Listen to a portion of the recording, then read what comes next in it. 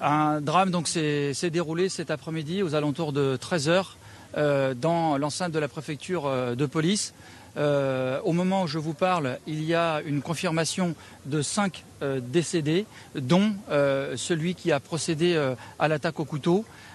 C'est effectivement extrêmement choquant et les collègues ne se remettent pas de, cet événement tragique les circonstances euh, laissent supputer pour l'instant que euh, l'auteur euh, présumé effectivement qui est décédé eh a commencé les faits dans son bureau avant de se rendre dans d'autres endroits de la préfecture et à l'intérieur de la préfecture. donc il a fait quatre victimes dont nous ne connaissons pas exactement leur, affectation. le mobile à ce stade eh n'est pas connu. Est-ce quelqu'un qui a pété un plomb? Est-ce pour une autre raison? Il est encore trop tôt pour le dire. Quel est le profil de l'assaillant? Ce collègue euh, assaillant est un collègue euh, administratif euh, qui a plus de 20 ans de maison, comme on dit dans notre jargon, au sein de la préfecture de police. sa dernière affectation était la DRPP, autrement dit la, direction du renseignement. Il ne posait strictement aucun problème. C'est les seuls éléments dont je dispose à cet instant. Est-ce qu'on a une idée de la raison qui l'a poussé à commettre ce geste? Non, il n'y a pour l'instant rien qui permet de dire quelles sont les raisons qui font qu'il a péter un plomb ou est-ce que c'est pour une autre raison eh bien qu'il s'en est pris euh, à des collègues euh, au sein même euh, de cette enceinte de la préfecture de police. Est-ce que vous pouvez revenir sur les faits dans le détail, ce qui s'est passé exactement? Les faits dans le détail, je connais juste les éléments qui nous permettent de dire qu'il a commencé les faits et l'attaque au couteau dans le cadre et à proximité de son bureau avant eh bien d'en sortir et d'aller attaquer d'autres collègues. Mais encore une fois, les, les raisons ne sont pas connues. C'est un collègue qui l'a neutralisé. Oui, effectivement, c'est un collègue euh, qui l'a neutralisé avec son arme automatique euh, dans le cadre eh d'une situation de légitime défense d'autrui. On peut imaginer qu'il y avait beaucoup de passé dans la cour.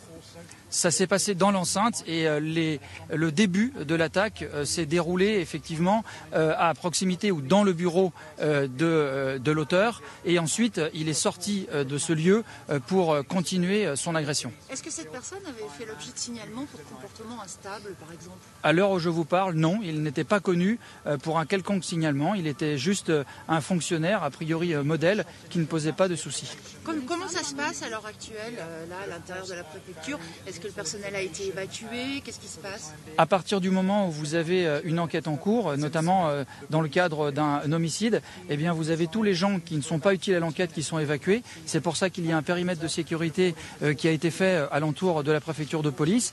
Le but, eh bien, c'est de préserver les traces et indices et de ne conserver que les personnes qui vont être utiles à l'enquête qui sont susceptibles eh bien, de donner des éléments pour, pour les enquêteurs et pour faire avancer et notamment trouver les raisons pour lesquelles cet individu et ce que ce collègue, ou en tout cas ce, fonctionnaire, est passé euh, à l'acte. Une cellule psychologique a sans doute euh, été déjà ouverte Oui, bien évidemment, on me confirme qu'une cellule psychologique a été ouverte, ce qui est la moindre des choses quand on voit euh, la gravité des faits. Vous avez vu vos collègues aujourd'hui dans, quel état ils sont à l'intérieur? Non, je suis resté à l'extérieur et je n'ai que des éléments qui sont d'une source sûre, mais je, ne, je, n'ai pas vu, je n'ai pas été au contact de, de, ces, de ces personnes qui ont subi ou qui ont vu de loin cette attaque. Donc les quatre victimes sont quatre policiers?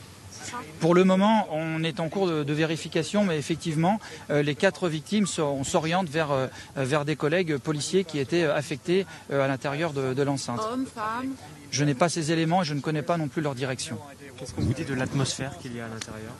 C'est forcément une atmosphère de chaos à partir du moment où ce que l'on vit habituellement sur le terrain se déroule eh bien, dans une enceinte policière. C'est toujours effectivement particulier et c'est forcément choquant. Donc j'imagine que les collègues qui ont vécu ça de près eh bien, s'en souviendront et ça va malheureusement marquer à vie leur, leur, leur, carrière.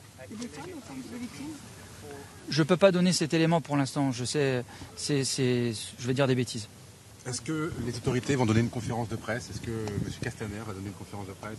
J'imagine qu'il va y avoir une conférence de presse à partir du moment où effectivement vous avez des faits aussi graves et que laisse supputer euh, euh, une attaque terroriste, même si on ne peut pas la qualifier comme ça et même si c'est sans doute pas le cas, on imagine que pour éviter effectivement toutes sortes de rumeurs, Et il y a tout intérêt à ce qu'il fasse effectivement une conférence de presse qui sera sans doute beaucoup plus précise que les éléments que, les éléments que je vous donne. C'est quelque chose de sans précédent, euh, une, euh, une, agression au sein même de la préfecture de police commise par un membre de la préfecture de police. De mémoire, effectivement, euh, il n'y a pas eu de type de fait similaire. Il y a déjà eu des attaques dans des commissariats ou à proximité de, de locaux de, de, police, malheureusement, mais de, ce, de, cette ampleur et dans la façon dont ça s'est déroulé, effectivement, euh, on est quelque chose qui, comme je disais, va, va marquer tristement l'histoire. Les faits se sont déroulés vers 13h.